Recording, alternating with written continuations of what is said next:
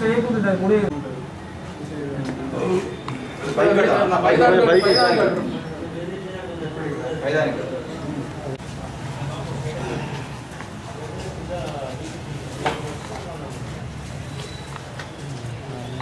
కిరణ్ ఏమైనా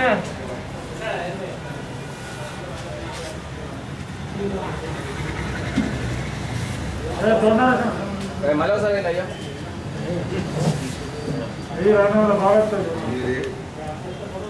जी अंदर यही रहे अंदर अब आए मुझे देखने करने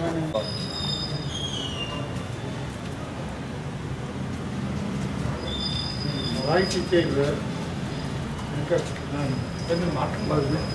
हरीश हरीश नरेश नरेश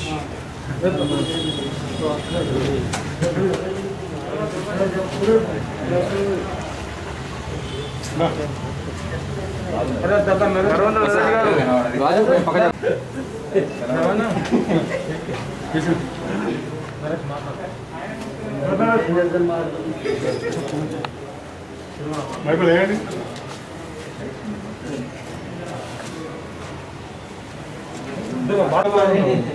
మొక్కలను బయట ఉంటారా అందరిని కాపాడుతుంది కదా అంటే ఎంత ఓని అందరూ ఒకసారి మైక్ పెడితే మాకు ఒక ఫోటో తీసుకుంటారు అవగాహన ఇస్తారా మాకు?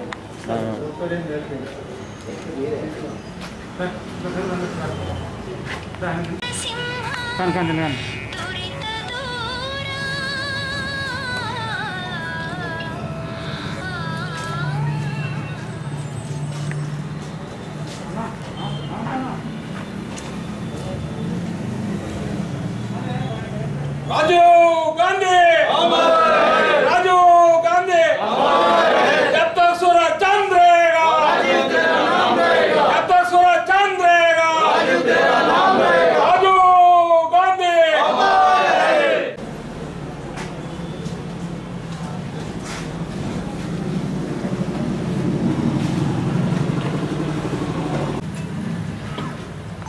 స్వర్గీయ శ్రీమతి ఇందిరాగాంధీ ఏదైతే తన వ్యక్తిగత భద్రతా సిబ్బంది వల్ల హత్య గురిపడ కాబడ్డ తర్వాత ఈ దేశంలో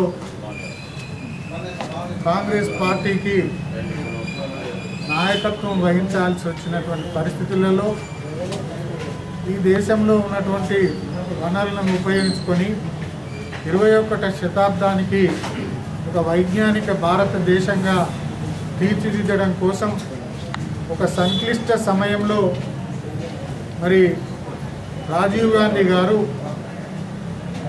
పదవీ బాధ్యతలు చేపట్టడంతో పాటు ఈ దేశం యొక్క భద్రత ఆంతరంగిక భద్రత విదేశీ శక్తుల వల్ల ఎదుర్కోబోయేటువంటి భద్రతను గురించి మరి దేశ ప్రజల సంక్షేమం కోసం కాంగ్రెస్ పార్టీలో ఒక క్రియాశీల కార్యకర్తగా తన పైలట్ ఉద్యోగానికి రాజీనామా చేసి మరి ఈనాడు ఉన్నటువంటి సోనియా గాంధీ ఇద్దరు భారతదేశానికి తిరిగి రావడం మరి ఇక్కడ బాధ్యతలు స్వీకరించి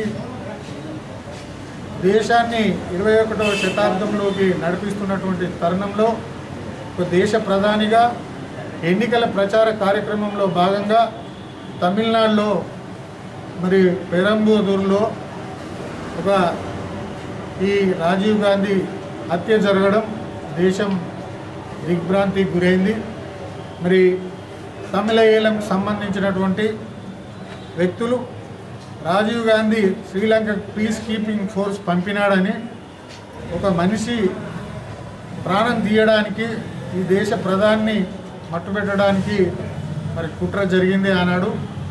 అందుకోసం మరి అంతర్జాతీయ రాజకీయాలలో భారతదేశ గౌరవాన్ని ఇనుమడింపజేయడం కోసం తను తీసుకున్న నిర్ణయం తన యొక్క జీవితానికి ముగింపు పలికింది. ఈ దుర్ఘటన దేశ ప్రజలు మర్చిపోలేదు. మరి ఈ దేశాన్ని వైజ్ఞానికంగా అభివృద్ధి చేయడంలో స్పేస్ టెక్నాలజీ కావచ్చు తర్వాత వైజ్ఞానిక అభివృద్ధి కావచ్చు ఈ దేశం ప్రపంచంలో ఉన్నటువంటి అభివృద్ధి చెందిన దేశాల సరసన నిలబెట్టడం కోసం తన వంతుగా మరి తన ప్రాణాన్ని బలిదానం చేయడం జరిగింది కనుక ఈ సందర్భంగా వారి యొక్క సేవలను మనం మరొకసారి స్మరించుకుంటూ వారి ఆత్మకు శాంతి చేకూర్చాలని భగవంతుడు వారి కుటుంబానికి ఆయురారోగ్యాలతో పాటు ఈ దేశం మళ్ళీ ప్రమాదంలో పడబోయే పరిస్థితి ఉత్పన్నమవుతున్నటువంటి తరుణంలో కాంగ్రెస్ పార్టీ కార్యకర్తలుగా కార్య కాంగ్రెస్ పార్టీ అభిమానులుగా ఈ దేశాన్ని ఈ స్వాతంత్రం తెచ్చినటువంటి పార్టీగా ఈ దేశం అభివృద్ధిలో భాగస్వామ్యం తీసుకున్నటువంటి పార్టీగా తెలంగాణ ఇచ్చినటువంటి పార్టీగా మనందరి బాధ్యత కర్తవ్యం మనందరి మీద ఉంది. ఈ రాష్ట్రంలో కానీ ఈ దేశంలో కానీ మరి అధికారంలో ఉన్నటువంటి పార్టీలు చేపడుతున్నటువంటి కార్యక్రమాలు ప్రజలందరూ గమనిస్తూనే ఉన్నారు. ఈనాడు ముప్పై నాలుగు వేల కోట్ల నిరుద్యోగులు అంటే ముప్పై నాలుగు కోట్ల నిరుద్యోగులు భారతదేశంలో తిండి ఆదాయం లేనటువంటి పరిస్థితి ఈ కరోనా ప్రభావం వల్ల ఈ దేశం ఎదురు తీవ్రమైనటువంటి విపత్కర పరిస్థితులను ఎదుర్కొంటున్నటువంటి తరుణం. అట్లాగే ఈ ప్రభుత్వాలు కనీసం ఒక కరోనా రోగాన్ని అడ్డుకోవడానికి ఒక మాస్క్ ఇచ్చే పరిస్థితిలో కూడా మరి మన ఆరోగ్య వ్యవస్థ లేదని చెప్పి ఈనాడు స్పష్టంగా మనకు పత్రికల ద్వారా తెలుస్తూ ఉంది. ముప్పై నాలుగు వేల ఆరోగ్య కేంద్రాలలో ఎక్కడా డాక్టర్లు లేరు ఎక్కడా వైద్యం లేదు. ఇట్లాంటి పరిస్థితి దేశానికి మరి ఈ ఉత్పన్నమైన ఇట్లాంటి పరిస్థితిని మనం అధిగమించడం కోసం కార్యకర్తలుగా మన పార్టీ ఇచ్చినటువంటి ప్రతి పిలుపులో భాగంగా కార్యక్రమాలలో పాల్గొంటూ ఈ దేశం కోసం ఈ దేశం యొక్క స- సమైక్యత కోసం సమగ్రత కోసం సార్వభౌమత్వ కోసం మనందరం అంకిత భావంతో పనిచేసిన నాడే మరి రాజీవ్ గాంధీ కలలుగన్నటువంటి మరి వైజ్ఞానిక దేశంగా అభివృద్ధి చెందే అవకాశం ఉందని చెప్పి రాజీవ్ గాంధీ అమర్ హై. రాజీవ్ గాంధీ రాజీవ్ గాంధీ అమర్ హై. మాట్లాడు ఫోన్. మాజీ మంత్రివర్యులు ఎమ్మెల్సీ జీవారెడ్డి గారి కాంగ్రెస్ పార్టీ భవన్లో ఏర్పాటు చేస్తున్న రాజీవ్ గాంధీ గారి డెబ్బై ఆరవ జన్మదినాన్ని పురస్కరించుకొని మనవి చేయనది ఏమంటే ఈరోజు రాజీవ్ గాంధీ గారు లేని లోటు కాంగ్రెస్ పార్టీలో కనపడుతుంది స్పష్టంగా. రాజీవ్ గాంధీ గారు జగిత్యాల్లో తమిళనాడులో చనిపోక ముందు ఒక నాలుగు రోజుల ముందు జగిత్యాల్లో పర్యటించి జీవన్ రెడ్డి గారి అధ్వర్యం లోపట జనం లోపట ఉండి ఒకరోజు ఇక్కడనే నిద్రపోయి తెల్లవారి తమిళనాడుకు పోవడం జరిగింది. తమిళ దురదృష్టం తమిళనాడు లోపట పెరంబందూరు లోపట తమిళ నక్సలెట్లు అనొచ్చు లేకపోతే తమిళ్ వాళ్ళు రాజీవ్ గాంధీ గారిని చంపడం జరిగింది. నల్లి అనే దొరసాని ఇప్పటికీ జైల్లోనే ముగులుతుంది. జీవిత ఖైదు అనుభవిస్తుంది. రాజీవ్ గాంధీ గారు లేని లోటు మనకు కష్టం స్పష్టంగా కనిపెడుతుంది చెప్తున్నాను. హైదరాబాద్ నుండి కన్మార్ మీదుగా గోదావరి కని వరకు జీవన్ రెడ్డి గారు నాలుగు లైన్ల రహదారికి రాజీవ్ గాంధీ గారి పేరు మీద నామకరణం చేయడం జరిగింది. అట్లాగే రాజీవ్ రహదారి అనేది మేము బైపాస్ రోడ్కు జీవన్ రెడ్డి గారు నామకరణం చేసిండ్రు. మా రాజీవ్ మామిడి మామిడి మార్కెట్ కూడా వారు నామకరణం చేసిండ్రు. రాజీవ్ గాంధీ గారు కాంగ్రెస్ పార్టీకి ఎన్నో సేవలు చేసినారు. కాంగ్రెస్ పార్టీని ఐదు సంవత్సరాలు ప్రధానమంత్రిగా ఉండి ముందుకు తీసుకెళ్ళినారు. అనుకోకుండా నూట అరవై నుంచి నూట డెబ్బై సీట్లు రెండో పర్యాయం కూడా కాంగ్రెస్ పార్టీకి అధికారం పార్లమెంట్లో సీట్లు వచ్చినప్పటికీ నాకు ప్రజలు స్పష్టమైన మెజార్టీ ఇవ్వలేదు కాబట్టి సద్భాన యాత్ర లోపట దేశాన్ని మొత్తం పర్యటించి కాంగ్రెస్ పార్టీని ముందుకు తీసుకుపోవాలనే ఆలోచనతోటి పర్యటన చేస్తే తమిళనాడు లోపల వారిని అన్యాయంగా ఒక ఫోర్సును పంపడం అన్న మూలంగా సాకుతోటి వారిని చంపడం జరిగింది. దురదృష్టం ఈ అవకాశం ఇచ్చిన అందరికీ నమస్కారం చెప్తూ ముగిస్తున్నాను. రత్న స్వర్గీయ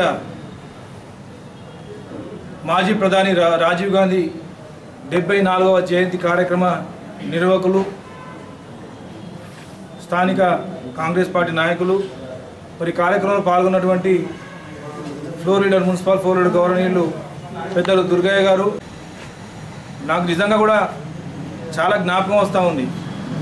పంతొమ్మిది వందల తొంభై నాలుగులో రాజీవ్ గాంధీ గారి యొక్క జయంతి సందర్భంగా ఉత్తమ విద్యార్థి అభినందన సభ కార్యక్రమం చేపడుతూ ఉన్నప్పుడు ప్రతి సంవత్సరం చేపడుతూ. అప్పుడు ఎన్ఎస్వి నాయకుడిగా ఉన్న సందర్భంలో అప్పుడు స్వర్గీయ చొక్కారావు గారు అన్న జీవన్ రెడ్డి గారి చేతుల మీదుగా ఉత్తమ వాలంటరీ అవార్డు తీసుకున్న సందర్భాన్ని మరి రాజీవ్ గాంధీ జయంతి సందర్భంగా నేను నెమరేసుకుంటున్నాను. ఆ జ్ఞాపకాలను చిరస్థాయిగా నేను చనిపోయినంత వరకు కూడా నా మెదడులో ఉంటాయని చెప్పి సందర్భంగా తెలియజేస్తూ ముఖ్యంగా రాజీవ్ గాంధీ గారు ఈ దేశ సమైక్యత కొరకు ఈ దేశ సమగ్రత కొరకు దేశాన్ని ప్రపంచంలోనే ముందుకు తీసుకెళ్ళాలన్న ఆలోచనతో ఆయనకు రాజకీయాలు అంటే ఇష్టం లేకున్నప్పటికీ కూడా ఈ దేశ ప్రజలు రాజీవ్ గాంధీ గారు తప్పకుండా ఈ దేశానికి మీరు ప్రధానమంత్రి కావాలి.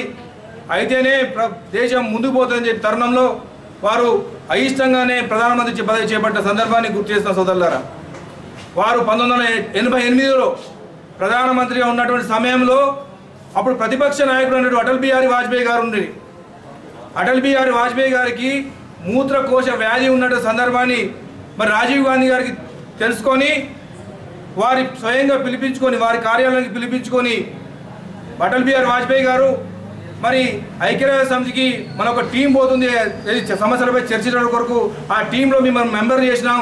అట్లనే న్యూజిలాండ్లో కూడా మీరు ఆపరేషన్ చేసుకోవడానికి సౌకర్యాలు కల్పించాలని చెప్పి చెప్పినటువంటి గొప్ప నాయకుడు మరి రాజీవ్ గాంధీ అని చెప్పక తప్ప సోదరులారా. ఎందుకంటే ఈరోజు చూస్తున్నాం అధికారంలో ఉన్నటువంటి కేంద్రంలో ఉన్నటువంటి పార్టీ కానీ రాష్ట్రంలో ఉన్న పార్టీ కానీ ప్రతిపక్షం ఏం నామరూపంగా లేకుండా చేయాలన్న ఆలోచనతో ఉన్నటువంటి సందర్భాన్ని చూపిస్తా ఉన్నాను గతంలో రాజీవ్ గాంధీ ప్రైమ్ మినిస్టర్ ఉన్న సందర్భాన్ని రెండు కూడా కంపేర్ చేసి చూపించడానికి ప్రయత్నం చేస్తాను సోదరులారా.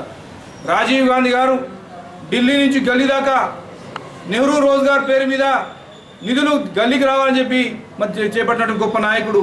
అదేవిధంగా యువత కూడా అప్పటి వరకు ఇరవై ఒక్క సంవత్సరాలు ఉన్నటువంటి ఓటు హక్కును పద్దెనిమిది సంవత్సరాలు కుదించి మరి ఈ దేశంలో భా భారతదేశంలో యువతనే ముందుకు పోవాలి యువతనే రానున్న రోజుల్లో భారతదేశానికి ప్రధాని కావాలనే ఉద్దేశంతో చెప్పినట్టు సందర్భాన్ని గుర్తు చేసిన సోదరులారా.